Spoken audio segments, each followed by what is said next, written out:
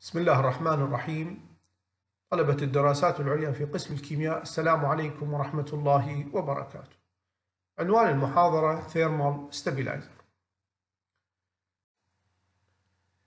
لتوضيح عمليات Thermal Stability of Polymers راح ناخذ نموذج أو مثال على طرق التفكك بالتأثير الحراري والمثال هو ال PVC ال PVC طبعا واحد من البوليمرات المستخدمة بكثرة في الحياة اليومية. ال PVC وهو ال polyvinyl chloride آه، يعاني من عمليات التفكك وخاصة آه، أثناء عمليات التصنيع أثناء ال process. والسبب في ذلك يعود إلى وجود ال labile site in them. إضافة إلى ذلك أن ال PVC يعاني من عمليات التفكك according to ionic molecule or and free radical mechanism. هذا ال labile site اللي هو موجود على ال PVC macromolecules نتيجة للتفاعلات البلمرة التي آه، يتم فيها تحضير ال PVC عادة يتم بلمرة ال vinyl chloride ويحول إلى ال PVC عن طريق mechanism free radical polymerization هذه طريقة البلمرة ممكن أنه تترك لي fragment the initiator على ال macromolecules PVC فبالتالي هذه ال fragment ممكن تسبب لي labile site ممكن أيضا تسبب إلى ال branch نتيجة لعمليات chain transfer through polymer ممكن أيضا تتكون عندي ال double bond وهذه أيضا مألوفة في تفاعلات ال termination مثل disproportionation وكذلك chain transfer through monomer وهي آه، من إحدى الطرق المستخدمة في ال termination أو free radical mechanism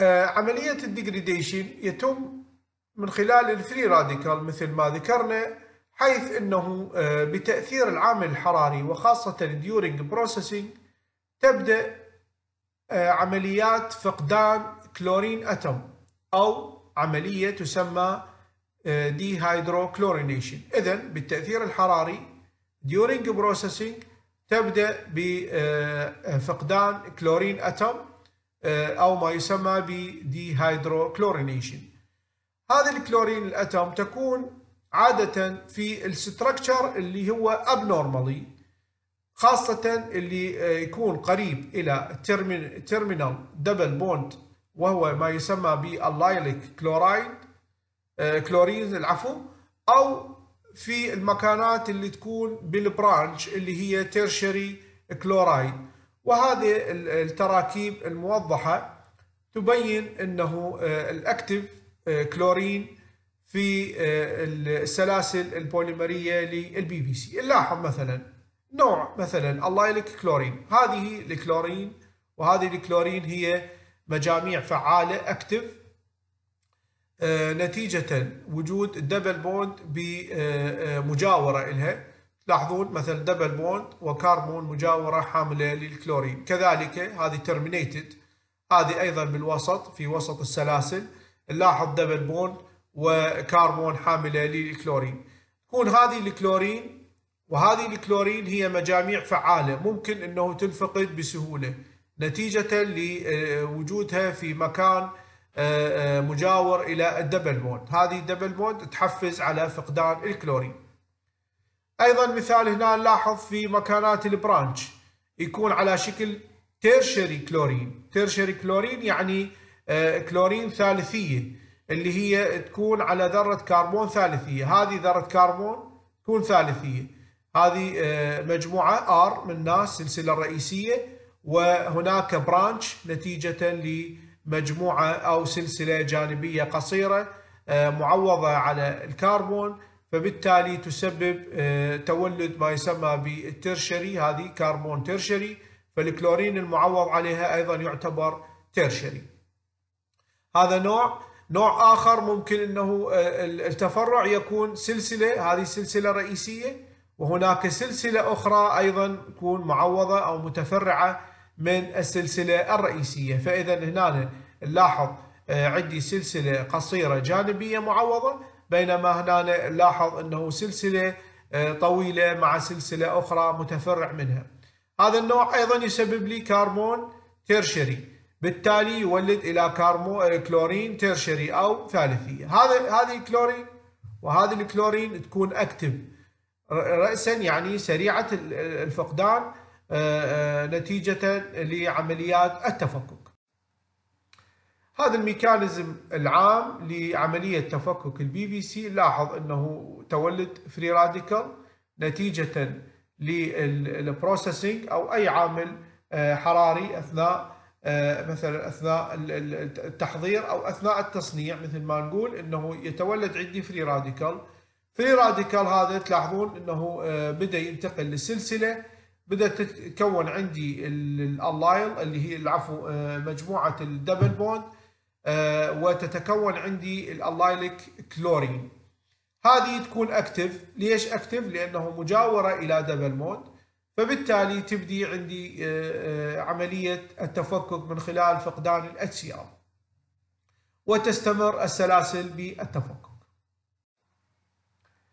auto catalyst behavior ال HCl المتحرر الحقيقة يعتبر ك strong catalyst يؤثر على عملية ال dehydrochlorination هنا ال HCl المتحررة تعمل على استقطاب مجاميع HCl أخرى موجودة على آه، آه، السلسلة الرئيسية للبوليمر. لاحظ أنه هذا عندي السلسلة الرئيسية لل PVC وهذا هو HCl المتحرر. الآن ال HCl المتحرر هو عبارة عن partial موجب و partial سالب يترتب بهذه الطريقة ويقارب مجاميع ال Cl ومجاميع العفو المجاميع المعوضة على السلسلة الرئيسية للبوليمر. هذه السلسلة الرئيسية للبوليمر هذا عندي ال HCl المتحرر يبدي يتقارب بهالطريقة إنه ال H تتقارب مع ال Cl وال Cl السالب تتقارب مع ال H الموجبة اللي هي آه، موجودة على السلسلة الرئيسية للبوليمر. وبالتالي تعمل على تحفيزها على فقدان HCl أخرى. تلاحظون من خلال ال mechanism أيضا تكونت عندي double bond هذه ال double bond راح تحفز آه، أو تكون ما يسمى بال allylic chlorine آه، وتكون فعالة جدا للفقدان. فبالتالي أنه هنا راح يسلك ال HCl ك catalyst لاستمرار التفكك. طريقة الحماية أو طريقة ال stability لل PVC تتم من خلال السيطرة على ثلاثة عوامل. العامل الأول أنه نقدر نضيف مثبتات تعمل على امتصاص أو معادلة ال HCl المتحرر. لأن مثل ما عرفنا أنه ال HCl هو يعتبر catalyst لاستمرار عملية التفكك. أو ممكن استخدم stabilizer تسيطر لي على ال free radical اللي هي أساسا بدت آه، آه، عملية التفكك. أو ممكن نجيب لنا stabilizer آه، له القابلية على التفاعل مع ال double bond وكانت ال double bond أيضا سبب آخر يضاف إلى الأسباب اللي أدت إلى استمرار عملية التفكك. بشكل عام ال thermal stabilizer المستخدم لل PVC يقسم إلى مجموعتين رئيسية، المجموعة الأولى عادة تكون ال metallic salt اللي هي آه، يعني العناصر ال inorganic وخاصة أملاح العناصر مثل الرصاص الكادميوم سترونيوم إلى آخره. أما المجموعة الثانية فهي مجاميع ال epoxide آه، مجاميع ال phosphite ال antioxidant وإلى آخره. عادة آه، النوع الأول يسمو يسمونه ال primary stabilizer والنوع الثاني يسمى بال secondary stabilizer. Primary thermal stabilizer اللي هو مثل ما ذكرت هو من النوع ال metallic salt types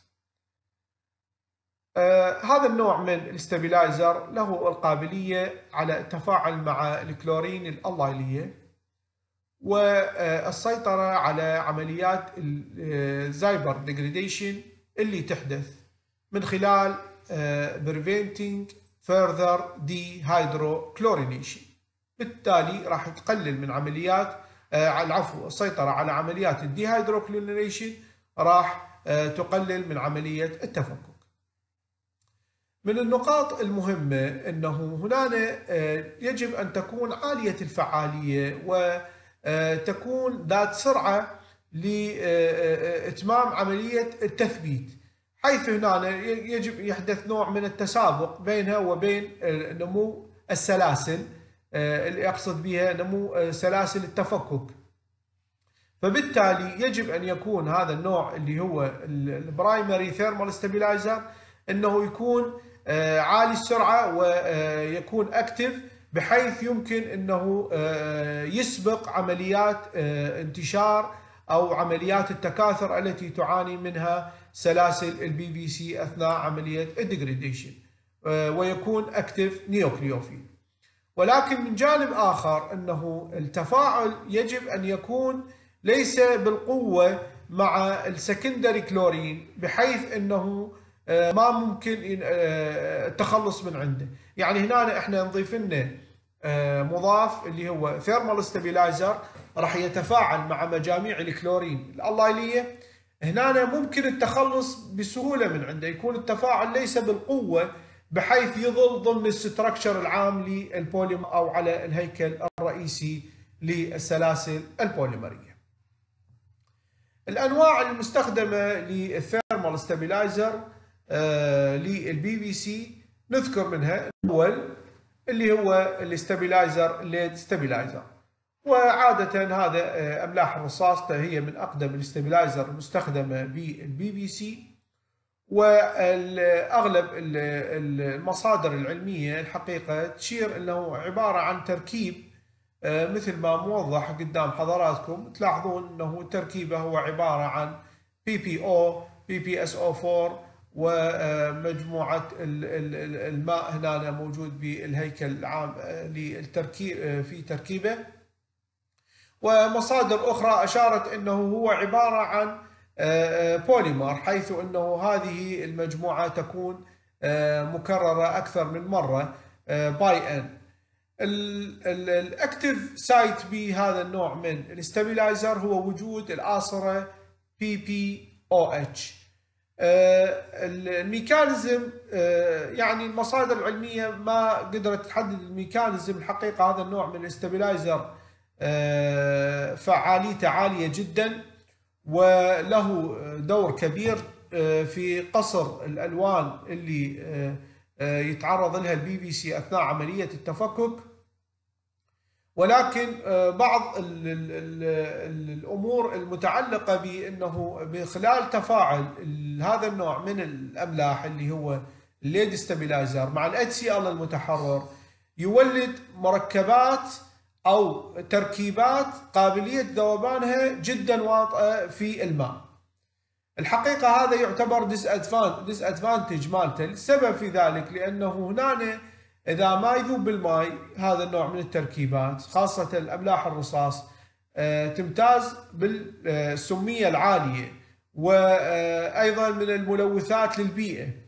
فبالتالي الاستخدام مالته يكون نسبيا محدد نسبيا محدد. يستخدمون أغلب الأحيان في العوازل للكيبلات وللوايرات وفي المناطق اللي هي مثل ما نقول ليس في ضمن تكون قريبة للإنسان. السبب في ذلك مثل ما ذكرنا أنه ال activity العالي من خلال mechanism تلاحظونها.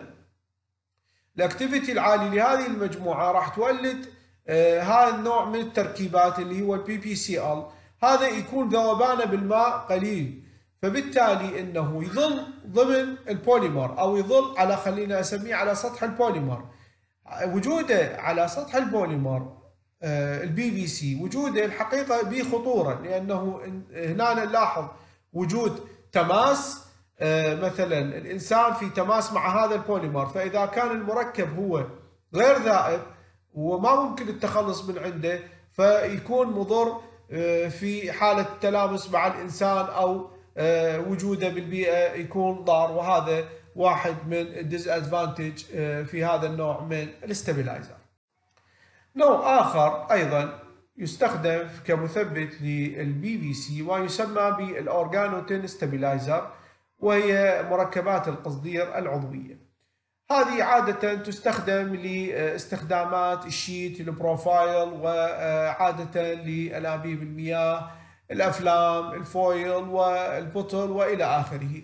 هذه حقيقة أكثر أمانا من النوع الأول ولها عمليا يعني تكون من حيث الفعالية هي أقل فعالية من النوع الأول ولكن أكثر أمان من أملاح الرصاص. تكون على شكل كاربوكسيليت أو على شكل مركبتايد يعني هنا على شكل SNO أو SNS عمل الثباتية الحرارية لمركبات الثايو اللي هي المركبتات المركبتايت العفو.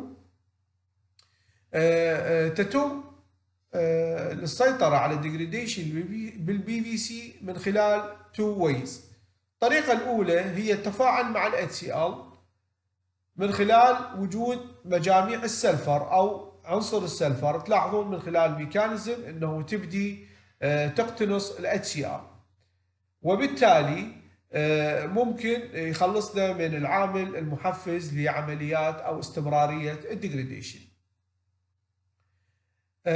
أيضا نلاحظ أنه الطريقة الثانية اللي هو هذا إذا كانت ال HCl على السلسلة الرئيسية ممكن ال HCl المتحرر. المتحرر ممكن أيضا تقتنصه هذه ال stabilizer فبالتالي من خلال ال mechanism ممكن أنه هذا ال stabilizer اللي هو ال organotin stabilizer يعمل على ال HCl الموجودة على الهيكل الرئيسي للبوليمر أو يعمل على ال HCl المتحرر سواء كان ال HCl موجود بالهيكل الرئيسي أو HCl متحرر فبالحالتين الحقيقة راح يبدي يقتنصه ويؤدي إلى تركيبات مستقرة تلاحظونها هذه الميكانيزم مالتها وبالتالي خلصنا من هذا العامل اللي هو ال المحفز لعمليات استمرار نوع ثاني نوع ثالث العفو من المركبات المستخدمة ك thermal stabilizer مع ال PVC هي المزيج ما يسمى بال mixed metal stabilizer وخاصة أملاح الكادميوم والزنك أو أملاح الباريوم والكادميوم آه العفو أملاح الكالسيوم والزنك أو أملاح الباريوم والكادميوم ما يسمى بالصوابين.